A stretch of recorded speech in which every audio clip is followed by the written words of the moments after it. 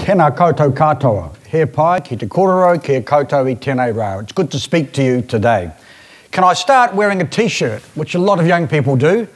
Um, some of you may know the story behind this t-shirt. This is the t-shirt. Do any of you know the time and place that the t-shirt refers to? Any ideas? We'll make this interactive. In the back, you can't escape. People standing up at the back. Who is it? When? Where? Washington, the famous March on Washington. What year? 63. Quarter of a million people marched for civil rights to Washington. Martin Luther King was the last speaker, and he had a great prepared speech on the theme of the US Bank of Justice delivering a dud check to the black people of the USA. And he was seven paragraphs into the speech talking about a promissory note, a check that had been returned marked insufficient funds. Actually, I was speaking to a group of 12 and 13 year olds a few days ago, told them this story, and I could see they just looked a bit vague when I talked about a check.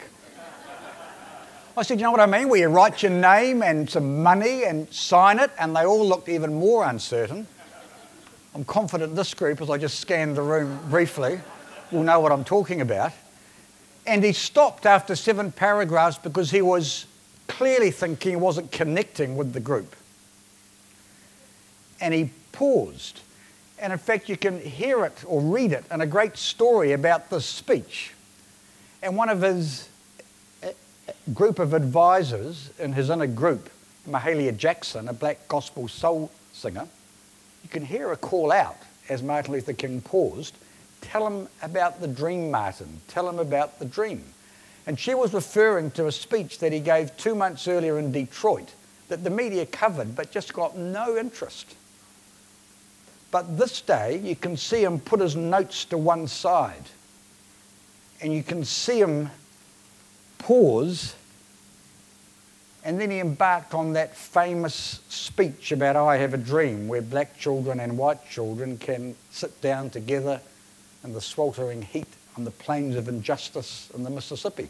Speech that children still learn today. And one of the purposes of this story, starting off, is for our last session in the conference, we've got a chance ourselves to dream some dreams and think of a vision, both individually and as a group for New Zealand's children. And I hope that's what we can focus on today.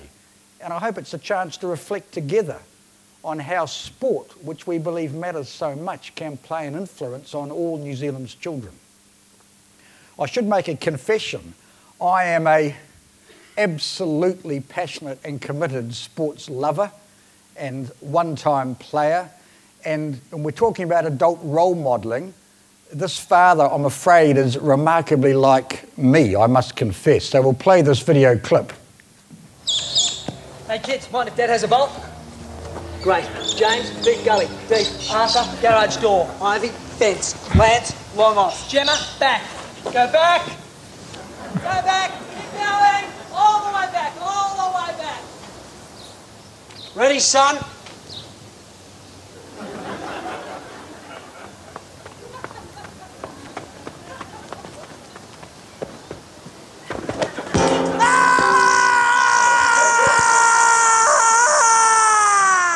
Get Fox Sports for the only place to see every ball of the Australian Tour of South Africa live. Fox Sports, where the game never ends.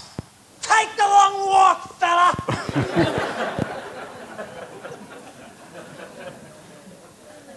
Just so you know where we're heading in this talk, I want to make some introductory comments about how well are New Zealand's children really doing and then, really, two challenges. One is we talk a lot about being child centred. It's a buzzword in Wellington policy analysts' discussion. What does it mean to be child centred? How could that relate to our sports organisations? And secondly, just to reaffirm what I think is the crucial importance of sport for young people. And given that it's New Zealand's next generation, in a sense, it's a forgotten piece of the jigsaw that I don't hear talked enough about when it comes to the policy analyst and political talk of child well-being in New Zealand, which is all the rage, for me a key piece of that child well-being analysis has got to be involvement and participation in sport. Continuing the sporting theme, I welcome interruptions, discussion, no contempt of court today. If you want to challenge me, I'm up for it.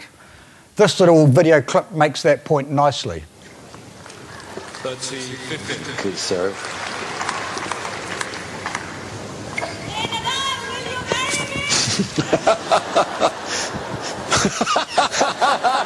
oh, well done, madam. You got a smile out of rapper.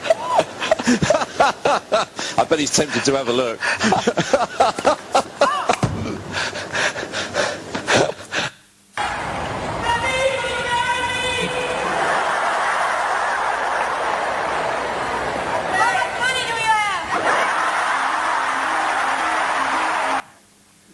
How many, if we're talking about children and young people and using the United Nations definition, under 18, how many under 18 year olds are there in New Zealand? Any suggestions, guesses, estimates? Start with the back again. A million. Do I hear more than a million? We've got a million. Is it advance on a million? Less than a million? Pardon? 400,000, 1.4 million. That's a wide range here. 400,000, 1.4 million. Any more suggestions? The answer actually is, and it's good for you to remember this just as we approach the issue, it's 1.123 million, 23% of the population. Just about one in four New Zealanders are under 18. So straight away, there's a key focus, I think, for any sporting organisation. And people often ask me, how well are New Zealand's children re really doing? I think the easiest way to sum it up, and these three percentage figures hold good just about across the whole analysis of child well-being. 70% do really well, some world leadingly well. Two 16-year-olds won bronze medals at the Winter Olympics. We can hold our head high at the, at the end of good well-being. We stack up as well as, if not better, than any other Western world country. We have some terrific results, academic, sporting, culturally. There is a but. 20% really struggle with disadvantage, and they're in and out of real difficulty. And 10% do as badly, if not worse. And that's a big thing to say, if not worse, than any other Western world comparator. And people often challenge me on that. But if you think about it, the highest rate of youth suicide in the world reported, second highest rate of reported bullying in schools, one of the highest rates of inter-partner and family violence, one of the highest rates of abuse and neglect. I mean, they're not pretty pictures. The New Zealand of the 2018s isn't the New Zealand of the 60s and 70s when I was brought up playing cricket at Rongotai College in Wellington, I was proud to be a member of the first 11 and never batted one year. I was a promising leg spinner who was in the first 11 in Form 4 but dropped in Form 7 because I'd grown, lost all the flight. And the reason I didn't bat is because Bruce Edgar, Ian Smith, Clive Curry, and the Seedable brothers were in front of me. It was a great team when I look back on it. But the New Zealand of today is full of enormous disadvantage, stratification, marginalisation. It's not the country which was homogenous and essentially a huge middle class. And our office, and when I was principal youth court judge, we were drifting towards, inevitably, towards the 10% and the 20%. And a real challenge, I think, for all of us is most sporting agencies are in the 70% and are contributing terrifically towards well-being and child development. But we're not in the 20% or the 10% in particular. And just about everybody who I saw in the youth court came from that 10%. So I think a question straight away is how can we better connect with that marginalised group? And I was always a member being manager of a football team. They were 10 year olds and the coach bought the boots for one boy and picked him up every practice night and every day to get him to the practice or the game because otherwise he wouldn't be involved. And his parents were never there. I thought, what a great example of explicitly working with a boy who was clearly from a really disadvantaged and difficult family background. And in New Zealand, we leave too many of our children behind. And you could ask, are we getting it right? I don't think we are. Increasingly, we're not. And sport is becoming the preserve of the advantaged, not the disadvantaged. And not only do we miss out on using the power of sport with that group, we miss out on some fantastic talent as well. I was just thinking about are we getting it right? I was in the youth court a while ago, and this boy walked in with a t shirt, threw off his hoodie, and he clearly wanted me to see the t shirt. And you see some provocative t shirts in the youth court, but this was the most provocative I've seen. And he just stood there staring at me with this t shirt, if you can all see it. And it wasn't quite what I was expecting. Can you all read it? And you can imagine what would you do in response to that sort of t-shirt? How would you engage with a young person? I somewhat lamely said, that's an interesting t-shirt. And he said, all good, boss. I said, well, it's a bit early to call yourself a criminal. You haven't even answered the charge yet. We're getting way ahead of ourselves. His lawyer was on his feet, waving at this stage. but I boxed on and said, Well, as a Christian myself, I can't fault your theology. But you won't know what theology means. He said, I do. It's about God stuff, isn't it? I said, Yeah.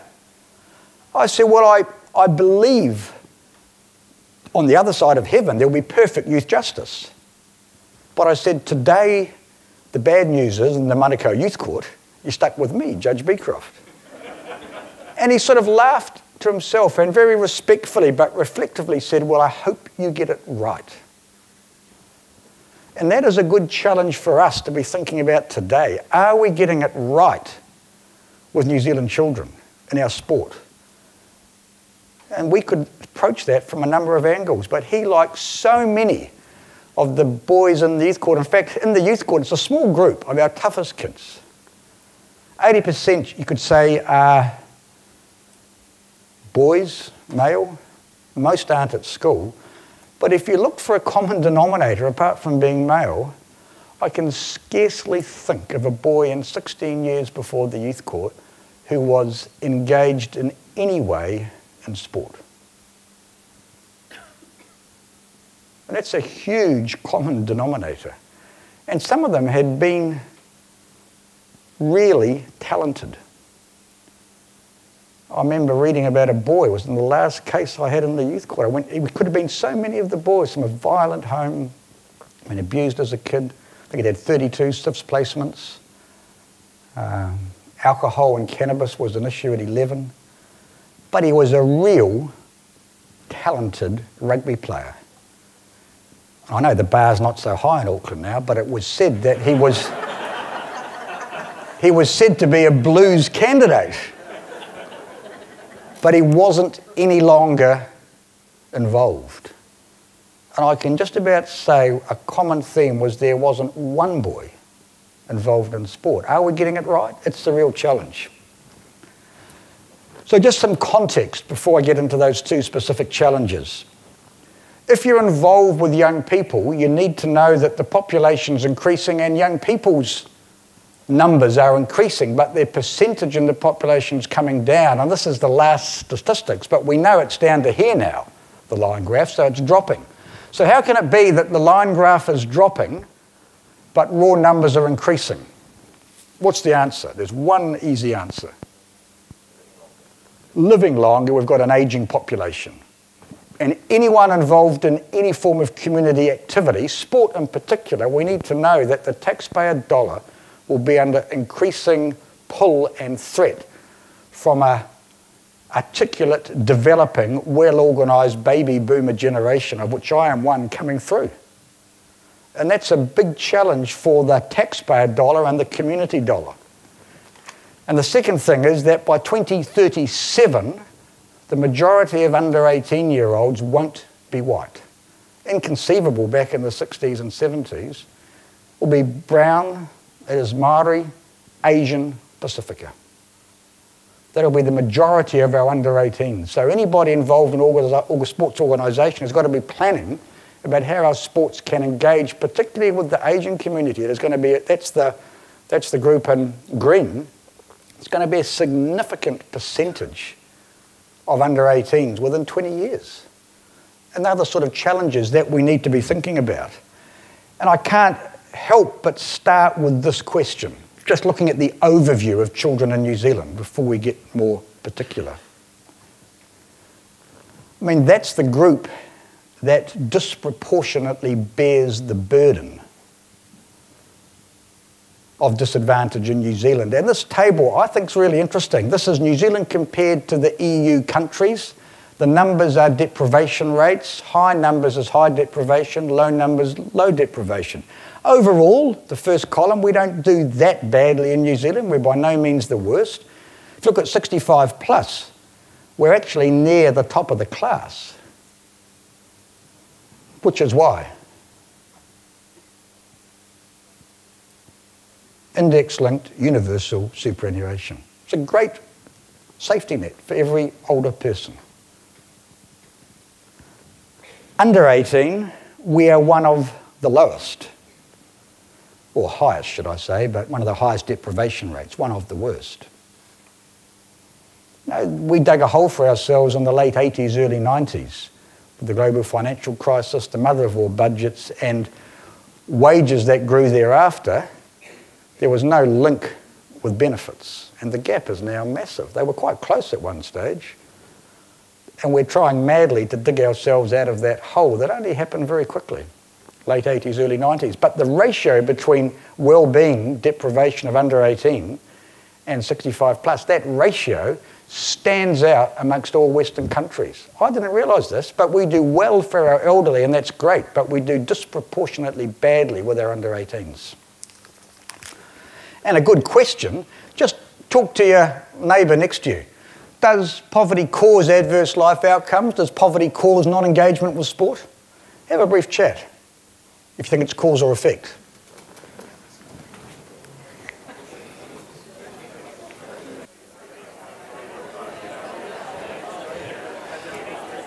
All right, we could talk for a long time. Policy analysts write PhDs about it. Linda Clark said it's interwoven. I don't know whether he goes so far as to say cause and effect. Minister Bennett always tells me, or ex-Minister Bennett, Deputy Leader of the National Party, says, well, she was poor, she got over it. So poverty is not a life script for disadvantage, but there's a high risk. When the toxic stress that comes with being poor in New Zealand terms creates some real risks. And if you look at some of the graphs, this is the opposite to the school decile. So decile 1's the richest and decile 10's the poorest. You can see what the social analysts call a social gradient. Gets worse as people get poor. I'd love to see if there was one for sport involvement in New Zealand for this, especially for children. Organised sport. Look at that for abuse and neglect. It goes up. Infant mortality goes up. Child mental health issues all are exacerbated by poverty. And the most recent research is there's a genetic link, and as poverty gets harder and harder to get out of generationally, so mental health will be increasingly concentrated in the poorer areas of New Zealand, or mental health issues, which is sad and challenging and sobering. For Māori as well, they talk about a tramline gap in education. That's NCEA level 2 achievement. It's back to the old quintile 1 being the poorest and quintile 5 being the highest. But you see, Pakeha achievement and Māori achievement increases as the school progressively are in areas that are more advantaged. But the gap remains the same. The gap doesn't change. So that's really the context for the discussion that we're now going to have when people ask how well are New Zealand children doing. First challenge being child centred, involving children. I think we have done this badly in New Zealand. I'm not sure why it is. Maybe because of our colonising Victorian past, we believe children should be seen but not heard, or they're potential adults that will grow into adults, but they're not capable of contributing views now.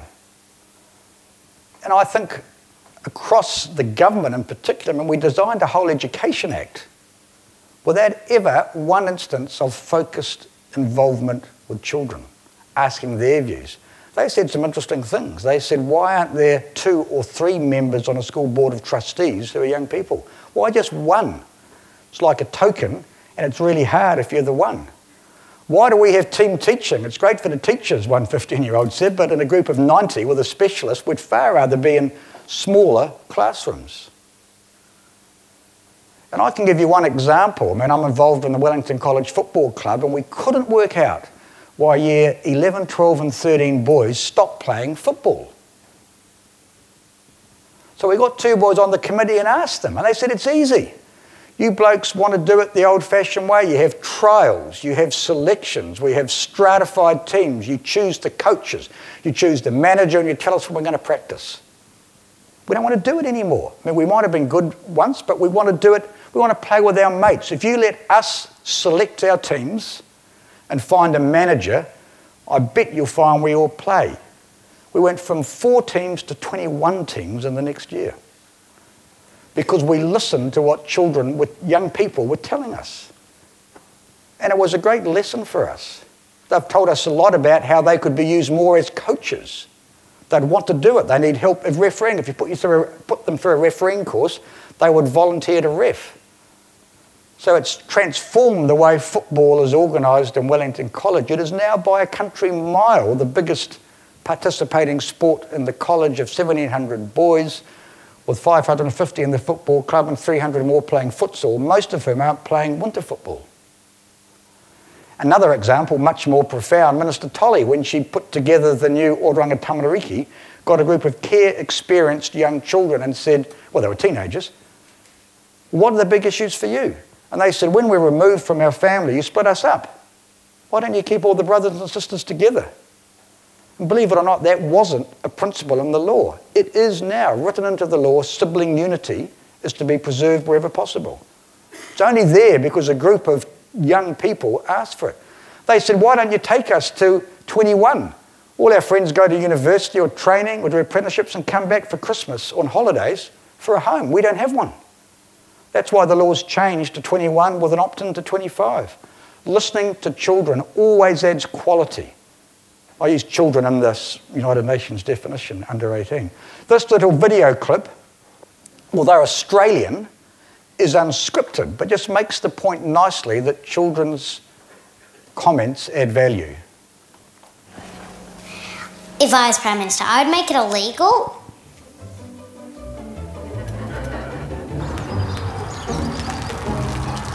Ah, Here's the wrong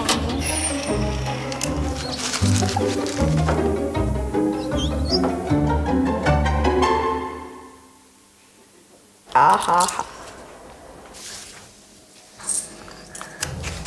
Why does he get five dollars? That's just the way it is. Seven dollars. It should be flat out illegal. Like, I'm not joking. I'm not being unreasonable. Women and men should have the same money. They should have 50 50. 60 60 if you want to do 120. It should just be how hard you work. If you do the same work, you should get paid the same money. What we're trying to tell you is that it's not fair that boys get paid more than girls. Maybe if the men noticed they were being paid more than the women, they should speak up about it. When I am older, I'm going to make a change. If I don't forget. Ugh. Ugh, have no words, it's so wrong.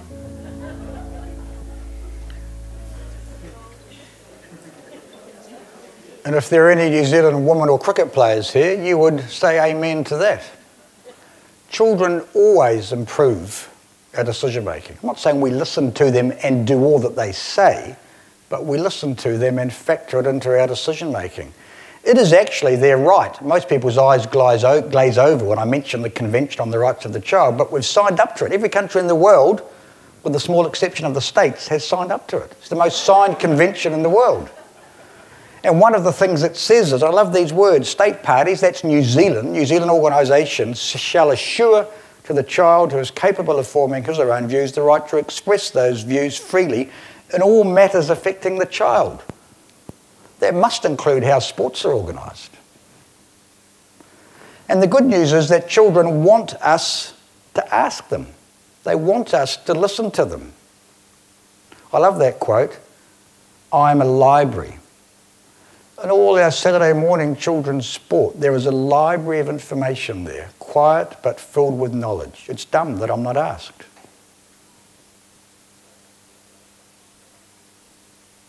These are all New Zealand students. So, some challenges about involving children's, getting children's voices in sport. I mean, do we seek feedback at the start and end of a season? Do we have surveys or questionnaires to all the children talking about how it's organised, what works for them, what doesn't, what was good, what was bad, what was a highlight, why? Do coaches and managers promote, I know these are jargon words, do they just allow young kids in their teams to share their views? Well, I know the coaches, I know the manager is, but there's a way of letting young people and children become involved. Do we reserve places for young people in management and government bodies? Does every suburban football, cricket, tennis, hockey, rugby club on the board or the committee do they have two or three teenagers on the committee to get their views? It's worthwhile asking those questions. And on our website, we have a variety of tools that are available that you can look up about how children can be consulted of any age. I guess my point is involving children is non negotiable. Can I give that challenge to you? Having young people in your organisation contributing is non negotiable.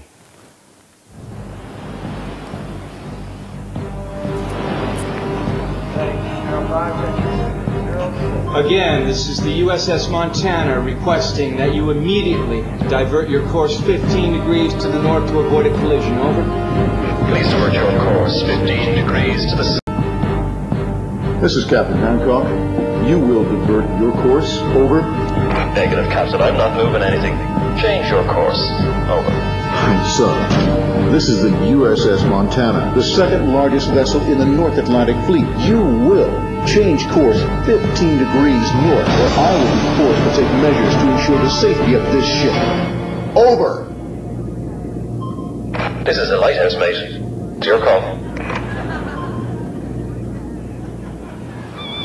It's a true story, actually, just reduced, and just uh, released under the US Official Secrets Act. An Irish lighthouse keeper. The point being, we should be non negotiable, like a lighthouse, like a beacon. We should be demonstrating. What a great way to do it through sport, demonstrating, not only encouraging children's participation, but an outlet for children's voices and engagement. And there's a lot of ways of doing it. These are just off our website. I mean, it's not rocket science. There's a lot of ways that you could use, not only surveys, focus groups, you could have in depth interviews with a few at the very younger stage. They could take you through a Saturday team, show you what they do, get their views on it. You could get an advisory group. Although sometimes that becomes a bit tokenistic. I think, I, think an experience has shown it's better to have them on the committee, especially if, if you can use it as a way of growing teenage involvement with the hope that they become adult committee members. Second challenge the importance of sport. They often talk about there being four domains in a young person's life, four areas that need to be functioning. They describe a young person's life like a chair. And there are four legs to a chair, and they really say four legs to a young person's life. And it's not rocket science, but just guess, think. What do you think are the four areas or environment in a child's life that needs to be functioning for the life to be functioning? Family. Family number one. Yeah. Then what? School. Family, school. Friends, someone said? Friends, yeah. Family, school, friends. Health, but culture, wider than that. Starts with C. Community, yeah. Family, school, friends, community. Some people say integrated by a value system. Integrated by a value system that adults should model, and good coaches do that. I mean, I speak from a Christian faith myself, others will have different value systems, but the best coaches always, I think, model a value system that young people might push against or challenge, but they want to see it modelled consistently by the coach and manager. Home, school, friends, community. And when there's real trouble at home and violence, and dad might be in prison, school attendance starts to drop, associating with other friends who aren't at school, with limited involvement in the community, that's the 10% we're talking about. The four legs aren't strong. And from, from my perspective, sport offers a fantastic opportunity in that fourth leg. That's why I think it's so crucial for all New Zealand children to be actively involved in sports, summer and winter. I love that sign outside of Blenheim Airport by, might be Tasman or Marlborough Sport. Was there last time I looked and had been there for about 15 years. A kid in sport stays out of court. I've used it a lot. It's just true.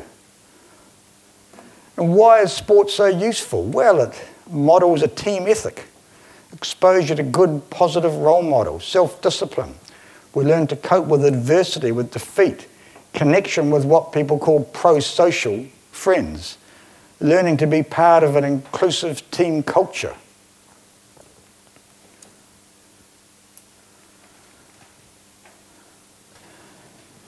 At Wellington College, we say enjoyment and excellence in football as a means for developing character and turning, turning boys into young men. That's our motto for football, as a means of turning boys into young men in the round with everything that football offers. We say to a lot of kids, you might not be an all white, but you might be an all whites manager, you might be an all whites coach, you might be an all whites referee. We try really hard to develop an inclusive perspective. And it means using sport to be intentional as a means of a greater end than just building sporting competence and success. And I think those three myths that Sport New Zealand have promoted. What are they, those three myths? Early talent identification seldom works. There's only actually one tennis player in Europe who was an under 12 champion who went on to become anything. Admittedly, it was Roger, but no one else who was an under 12 champion in any European country has gone on to be anything in tennis. What, what are the other two myths? Focus on winning. Focus on winning. Third one. Sport New Zealand here. I might have to pick on some Sport New Zealand people. I heard Alex. Is, is Alex here? I heard him on Radio New Zealand. There are three myths anyway. That's right, concentrating on one sport only early. Kumar Sangakkara was a tennis champion before he was a cricket champion. A.B. de Villiers won South African swimming and tennis champs as a 15 year old before he was even in cricket. And yet we tell our boys at Wellington College, unless you abandon everything for cricket at age 14 or 15, you're never going to get there. Then different boys grow and get bigger and develop psychologically quite differently. And I think there are those sorts of challenges, and no lesser organisation than Sport New Zealand, you probably know all this, but I'm putting it up, have identified five great values in sporting involvement. I mean, that in itself justifies it. Essential life skills, brain development, when you think the government would be just promoting almost compulsory involvement in some sort of sport for every under 11 year old. And that's true. I've seen so many boys who are struggling academically have got into the rigour of sport and transferred the lessons over about planning organisation. It's been really interesting how it's worked.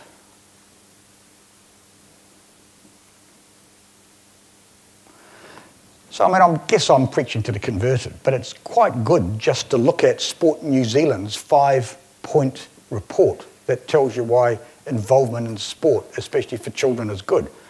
I mean, of course, there are some risks which we need to be aware of. I mean, that toxic culture can produce bad sportsmanship. Actually, I was in Australia, I like this, speaking to the Children's Commissioners conference there, and it, there was a day for community involvement about this big, and I pulled out my handkerchief and dropped a ticket. I said, Oh, if I was Australian, it would have been a square of yellow sandpaper, which they quite enjoyed. I mean, the winning at all costs breeds the bad sportsmanship. When I was manager of the third 11 at Wellington College, playing the fourth 11, I was walking around the sideline. My son was in the third 11, cricket. I was just listening to the sledging that was going on while the bowler was bowling from the inner circle of fielders. You blank, you effing this, you're never going to succeed. So I heard it, it was just constant. So I went around to the two managers of the two teams, third and fourth level, I wasn't a manager then, and said, You probably don't know what's going on. They said, Oh, yeah, we do, we can hear it. That's what boys do now, they said. That's what boys do now.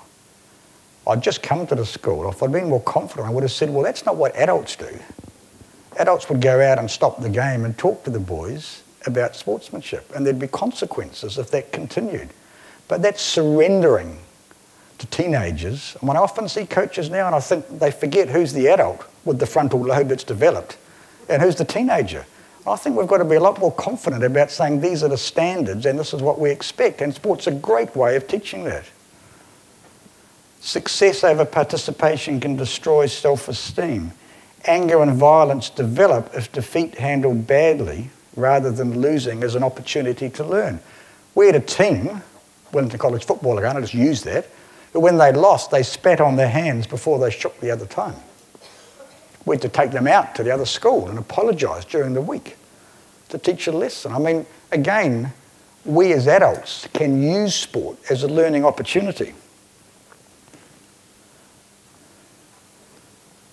drug use encouraged. At an ever lower age, young children are being taken advised in year nine with diet supplements and powder.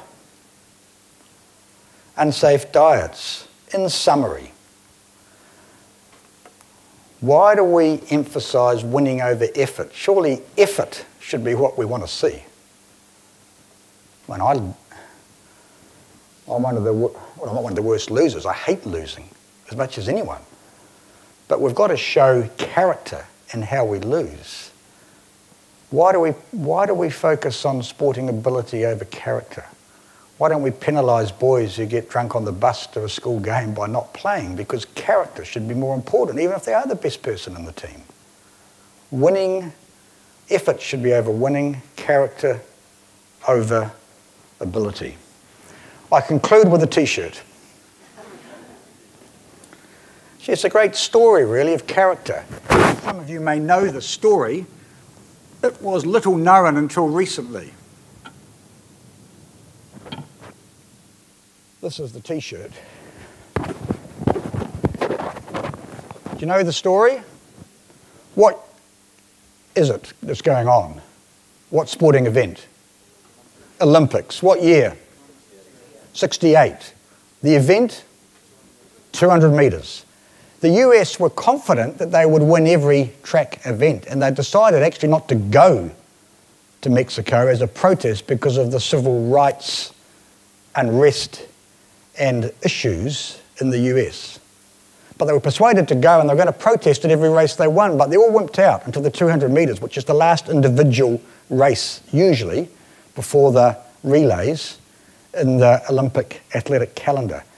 Confident to be first, second, third, and Tommie Smith was first, John Carlos was third, but an Australian, Peter Norman, came second.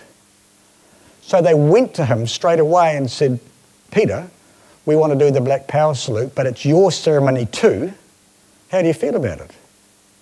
And he said, I'm a Salvation Army boy from Melbourne, Australia. I support you. I'll wear a Athletes Against Racism badge. And then Tommie Smith said, We've got a problem. John Carlos forgot his gloves. So it was Peter Norman who said, Well, Tommie, you'll have to wear the glove on your right hand. And Tommie Smith, I mean, John Carlos, third, you'll have to wear it on your left, which accounts for the first place getter having the glove on the right and the third place getter having it on the left, which was somewhat of a breach of protocol, but that's what they had to do. And you'll know that a huge commotion followed. And in the end, the US team buckled under pressure and they excluded and ejected Smith and Carlos from the games, and they never ran for the States again. Peter Norman ran the fourth fastest time in the world in 72 to qualify for Munich. But because he'd worn that little tin badge, they didn't want to select him. And they did it by not selecting any sprinters that year to go for Australia to Munich because they said no one was good enough. And Peter Norman never ran for Australia again. And it's all told in a great DVD called Salute, the story of the 200 metres medal ceremony. And in it, you see Peter Norman's funeral. And his coffin's being carried out of a packed Salvation Army citadel. And the pallbearers, front left and front right, are Tommie Smith and John Carlos. They'd flown all the way over from the States because they said this man, under pressure, showed character.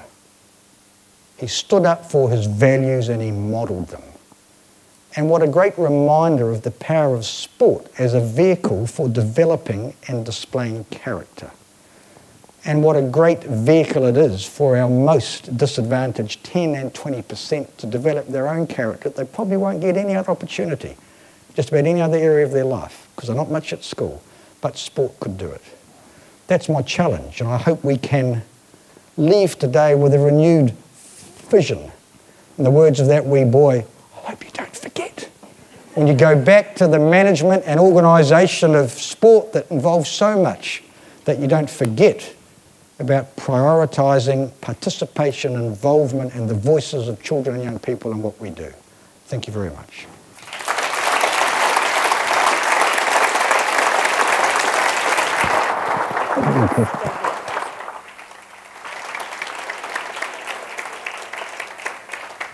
Uh, just stay with us. Um, I want to. Uh, I've got. A, we're going to go a little tiny smidgy over time because I want to ask a couple of the questions that you have put forward while Judge Becroft has been speaking. The other thing I wanted to do is just endorse what he. I mean, this guy is amazing, right? So he tells you to listen to young people, and I know that you're nodding and thinking yes, but at the same time, because we're all crusty old adults, you can kind of put the roadblocks in your head about how it's harder in real life and in your situation it wouldn't be possible. Um, Judge Becroft challenged us at Wellington College, I'm on the board, um, to you to listen to the students when we appointed a new principal yeah, at the end example. of last year. Yeah, it is. He cornered me in a supermarket actually and said, um, What are you doing to incorporate um, young people in the process? Now, to be absolutely fair, at the time I said to him, Yeah, no, that's absolutely. And got in the car and thought, Shit, we're not doing anything. So um, it was a challenge, and I thought, No, you know, initially I could think of all the reasons why we wouldn't be able to do it. It had never been done before. We're hiring someone for an extremely important role. We've got a whole lot of response. This is a, this is a grown up job to hire a principal. Um, but then we thought about it a little bit more and we decided we would actually incorporate uh, young people in the process. So what we did is we got down to the final candidates, and um, which was a laborious process in itself. And when we got down to the last uh, couple of candidates, they came to Welling- flew into Wellington for um, a day of a final round of interviews. They'd been interviewed previously. Um, by board members, but at the final round of interviews, we asked them to be interviewed by a panel of three senior students. So we had chosen three students. We didn't want them all to be the same. So we wanted one who was really a leader in sport at the school, one who was an academic leader at the school, and one who'd had some troubles at the school, who had been a kid that had had to actually, a sort of um, kind of mid batsman, if you want to say, kind of middle of the field, but had had a couple of run ins, so wasn't your perfect pupil. Uh, and we asked the three of them to turn up. We didn't give them a script. We said they could ask any questions they liked, and we asked them then to present their findings to the panel. And it was a bit of a risk, but it was so, it was the best thing that I've ever done, actually. Um, the the people who the candidates all said how impressed they were, but also how tested they were. Um, the boys asked completely different questions than we did, questions we would never ever have thought about. Uh, when they came back and presented to the board about their findings, um, they had a completely open and really a grown up discussion about the strengths and weaknesses of each candidate. And actually, they chose the same person that we had, but for slightly different reasons. But it w- gave us so much confidence that when we were appointing somebody in that position, we were doing exactly the right thing. And that new candidate, Gregor Fountain, has been in the job a month and has had a seamless transition. And one of the reasons I think his transition's been so seamless is that all of the boys knew that they actually were part of the process. So thank you, Andrew. But it is quite challenging, but it does actually work. Mm. Um, I wanted to ask you some two quick questions. So one of the questions, and it's been asked by a number of um, delegates throughout at while you were talking, is how do you reach the 10%? Because engaging with that 10%, everyone finds it difficult, right? Mm. So do you have to go through uh, and work with relevant government agencies, or are there other ways? Have you got any practical suggestions? Well, there'd be three ways. One would be Oranga Tamariki and the local, they've got offices all around New Zealand. One would be Police Youth Aid, who are really good and they they work with a lot of families that are at risk but not actually in trouble. And schools would be one, primary schools. Going to the primary schools and saying, who are your boys and girls who are least involved? I can remember the football club where we were in, in the Onslow Football Club could have gone to all the primary schools, they might for all I know, and said, well, who are the boys who aren't involved? Who are the girls who are not involved? And we'd be really happy to arrange ways where they could be picked up and help with uniforms and be involved. So there are three things I think that could be done. Yesterday, we heard from the leader of the Australian Sports Commission, and one of the things that she raised, um, just as an idea essentially, was a voucher system or a sort of subsidised approval or approach to the less well off. What do you think about that? Yeah, I mean, all the talk we've had about social investment, that's one arm of social investment, providing targeted assistance for the most disadvantaged. I mean, the other part is turning the tap off so they don't come through. But I, I quite like the idea of, in a way that's not stigmatising or judgmental, but just quietly saying we can provide help and assistance. If you want your boy or girl to be involved in the team, it's going to be no problem. We can arrange for registration and uniform. I like the idea, yeah. And lastly, just a little bit of anxiety, I think, from some delegates is that if you, I mean, some of these guys are working, and you will know because you've been a volunteer yourself, but uh, it's hard enough to keep the wheels on the bus sometimes. If some of these organisations shift their focus to the 10 and 20%, will not the 70% be disadvantaged in yeah, some way? I'm not suggesting avoid the 70%, keep going. I'm not even saying grab everybody in the 10% because that's going to have some problems. I think better to pepper pot one or two, preferably one in every team, so that the, the team ethic takes over. It actually only needs two in a team who are together and know each other, who are disruptive and not used to the approach, for it to be very difficult for a coach. So I think one, pepper potted around a whole lot of the teams, and most of the clubs now have got 20 or 30 teams. But it will only each club only needs to be choosing one, two, or three and putting them in different teams, just quietly and seamlessly. I'm not asking for the revolution, but just a more targeted way. If you had five of those boys and girls involved, one in each team, or the coach that you thought would be able to cope. A small start, but if everybody did that, be some significant change. There's a challenge for you. Moana Lee, I'd ask you to come to the stage and give the official thanks.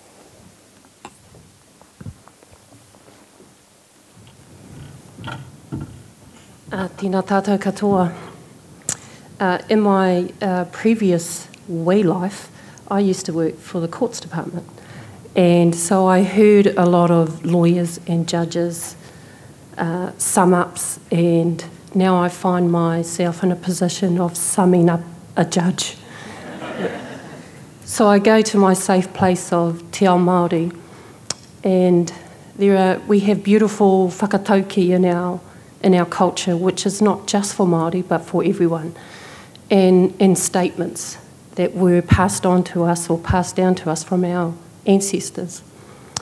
And I think these really, these statements really resonate when I hear you and when I see you. Um, and the first one is kia pono ki te kaupapa, being authentic to your truth. Ko koe tēnā, that is you. Kia tika te mahi, doing the right thing because it is the right thing to do. Ko koe tēnā, that is you. Me aroha ki te tangata, loving and respecting others. Ko koe tēnā, that is you. Tēnā koe, tēnā koutou, tēnā tātou katoa.